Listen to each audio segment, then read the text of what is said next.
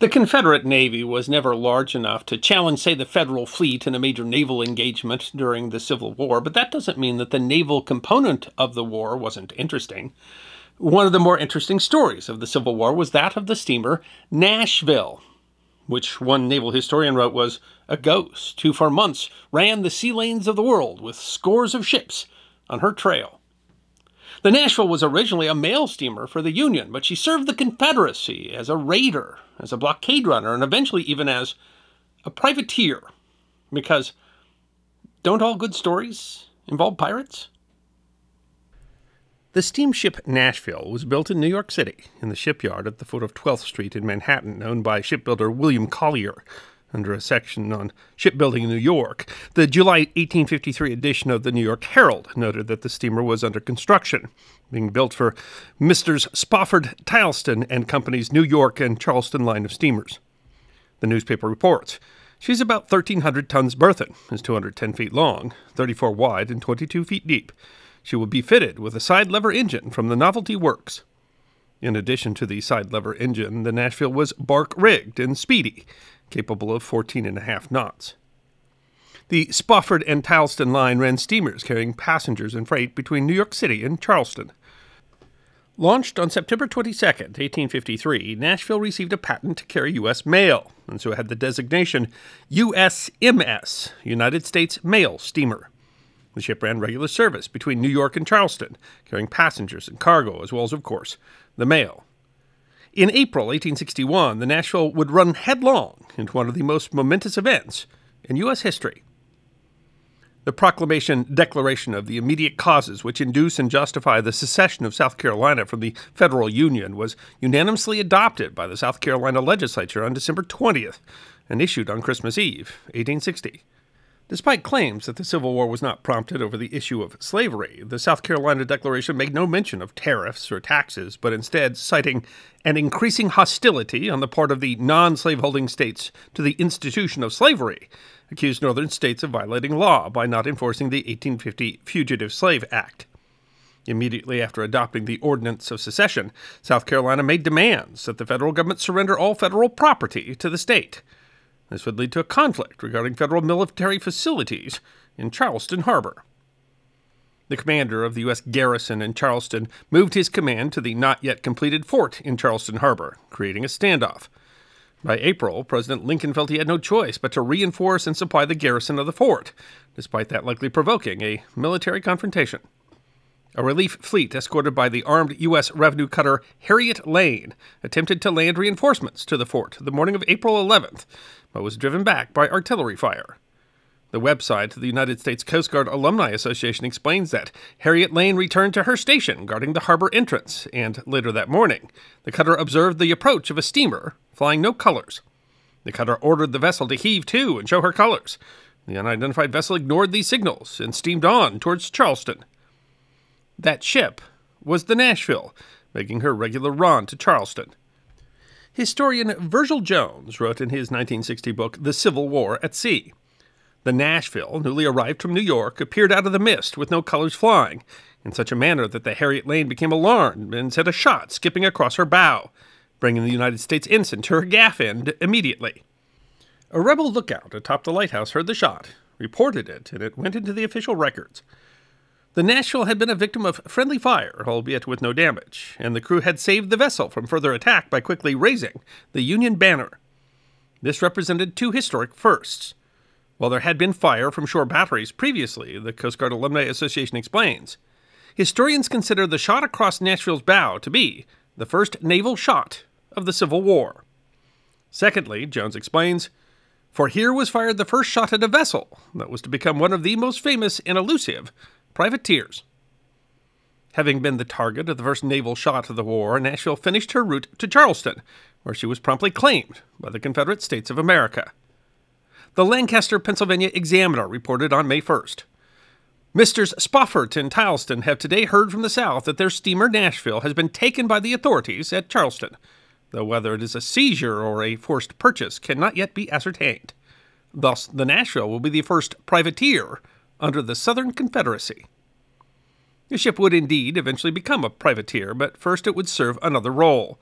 The ship was placed under the command of Lieutenant Robert Baker Pegram, a veteran who had served both in the war with Mexico and in Commodore Perry's expedition to Japan.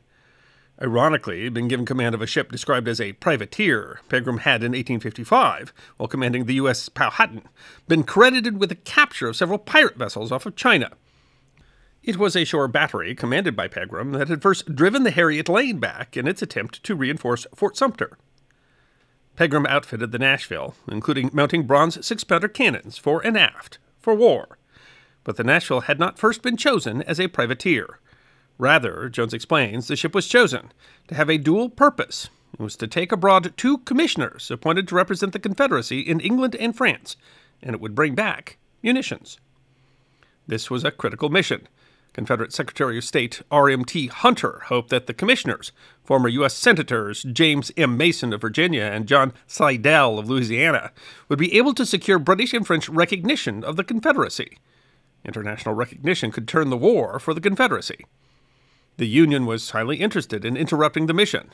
The Nashville was chosen because it was thought that her speed would be able to allow her to avoid a Union blockade. However, as Union naval forces around Charleston grew, Confederate officials feared that the Nashville, whose draft was deep enough that she could only use the main channel, would be captured.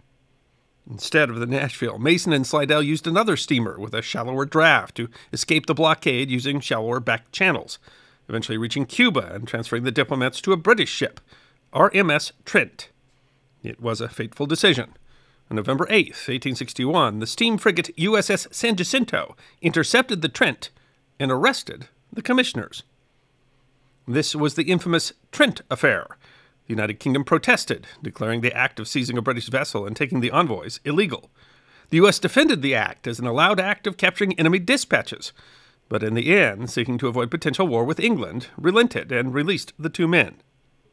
Mason and Slidell sailed to Europe, where, although finding limited diplomatic success, they failed in their goal of gaining international recognition for the Confederacy. When Mason arrived in England the following January, however, he learned that his capture might well have been avoided. CSS Nashville, the vessel that was first supposed to have carried them, was already at the Southampton docks. The North Devon Journal Herald reported that the Confederate States steamer Nashville, Captain Pegram, left Charleston on the night of the 26th of October at 11 o'clock, passing over the bar at 12. When she started, the weather was thick and cloudy, but just as she was crossing the bar, the weather cleared up, and the moon rose brightly, lighting up in full view to the eastward, distant about four miles, two steamers of the blockading squadron. One of the United States steamer Susquehanna of 12 guns, and the other of a powerful propeller gunboat. The Nashville, being under the land and from the moon, was not seen by them. Unlike the Trent, the Nashville had easily avoided the Union blockade and had been the first vessel flying the Confederate flag to enter English waters. The Charleston Daily Courier crowed on December 11th. Nashville reached Southampton on the 21st, with the rebel flag flying, while the New York Daily Herald lamented. The name of the steamer Nashville has become as familiar to the public as that of Sumter. What's more, the now CSS Nashville had created a sensation when, off the coast of Ireland, the Journal Herald reports, she destroyed the United States ship Harvey Birch. The clipper Harvey Birch had been traveling in ballast from Le Havre, France, bound for New York. The crew was taken aboard the Nashville, and the ship burned to the waterline. The crew were taken to Southampton and released. While some in the British press called the burning of the Harvey Birch piracy, Pegram argued that his was a ship of war of the Confederate Navy. The ship's arrival created a stir. The Leeds Mercury reported that at Lloyd's today great excitement was caused and war risks advanced. Consequent upon the news from Southampton, of the arrival of the Confederate war steamer in its waters. While the United Kingdom decided to adopt a course of neutrality, the Queen did recognize the Confederate States as belligerents. This meant that their vessel would be treated as any other military vessel from a neutral state. Nashville could be in port and receive supplies, but could not receive military aid. The sloop of war USS Tuscarora was sent to intercept her, raising the possibility of a battle between the two within sight of the English shore. But English authorities enforced rules of neutrality, and when Nashville left port on February 3, 1862, Tuscarora was required to wait 24 hours before she could pursue, and thus Nashville escaped. Francis Dawson, a 20 year old Englishman who professed a sincere sympathy with the Southern people in their struggle for independence, joined the crew of the Nashville at Southampton seeking passage to the American South, where he hoped to join the Confederate Army. He provided a first hand account of life aboard CSS Nashville. The morning after our departure from Southampton, the crew was mustered into the service of the Confederate States and signed the articles. I was rated as a landsman or a boy. The crew were divided into two watches, and the regular routine of duty at sea began. I found that I had 12 hours on duty out of every 24, and that at no time more than four consecutive hours to call my own.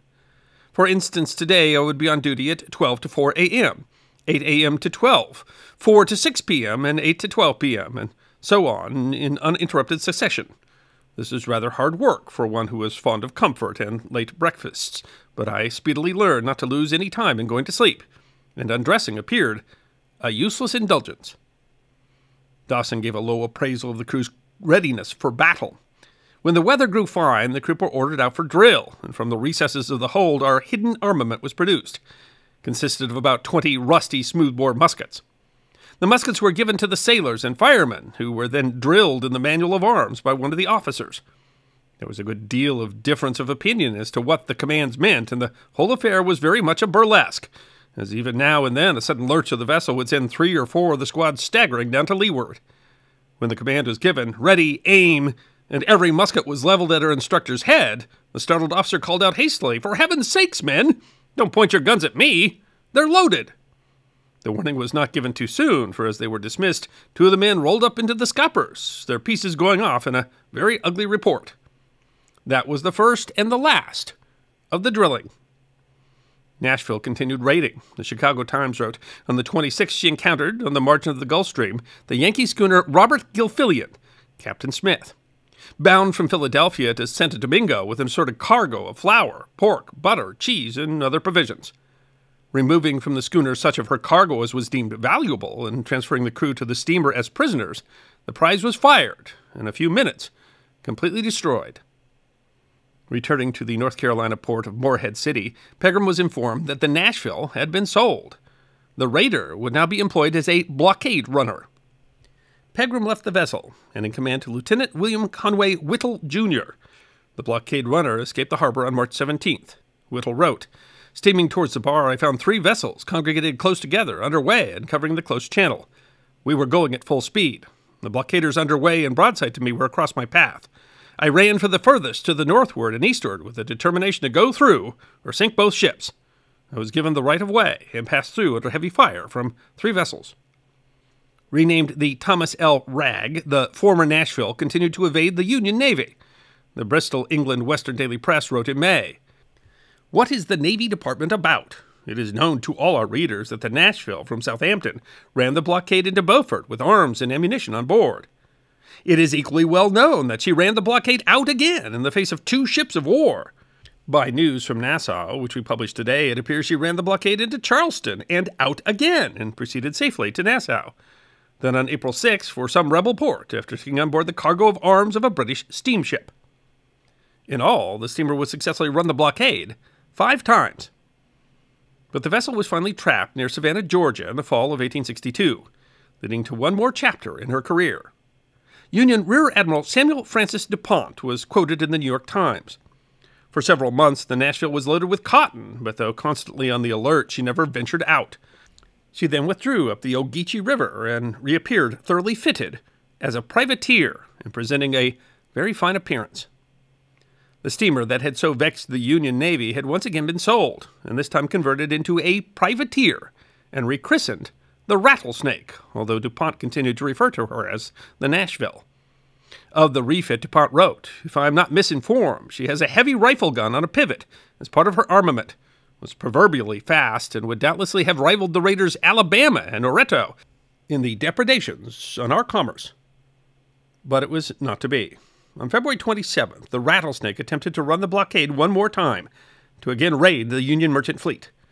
But the steamer grounded in the Ogeechee River Seeing opportunity, Commander John Worden of the Federal monitor USS Montauk braved fire from Confederate shore batteries and closed within range of the stranded vessel. His report said, A few well directed shells determined the range and soon succeeded in striking her with 11 inch and 15 inch shells. I soon had the satisfaction of observing that the Nashville had caught fire from the shells exploding in her in several places. and in less than 20 minutes she was caught in flames forward, aft, and amidships. At 9:20 a.m., a large pivot gun mounted abaft of her foremast exploded from the heat, and at 9:55 her magazine exploded with terrific violence, shattering her in smoking ruins. Nothing remains of her. While in the end, the CSS Nashville slash Thomas L. Wragg slash Rattlesnake shared the fate of the Confederacy that she served, the vessel did demonstrate how difficult it was for the Union to maintain the blockade that was the key to the Union plan to defeat the Confederacy. John Quarstein of the Mariners Museum and Park in Newport News, Virginia, said of her The CSS Nashville was a unique ship. The steamer received the first naval fire of the Civil War. It was the first Confederate commerce raider to serve in the North Atlantic and was the first Confederate warship to be recognized by Great Britain. I hope you enjoyed watching this episode of The History Guy, and if you did, please feel free to like and subscribe and share The History Guy with your friends. And if you also believe that history deserves to be remembered, then you can support The History Guy as a member on YouTube, a supporter on our community at Locals, or as a patron on Patreon. You can also check out our great merchandise shop or book a special message from The History Guy on Cameo.